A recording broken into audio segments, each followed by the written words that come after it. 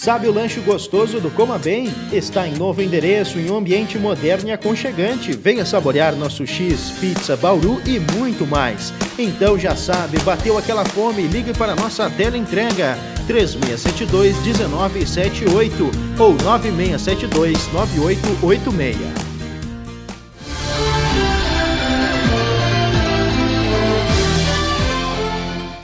O navio draga, que é utilizado para aprofundar portos e vias navegáveis, removendo parte da areia do fundo do mar, leitos dos rios e canais, está encalhado na Lagoa dos Patos, próxima à Fazenda Melo.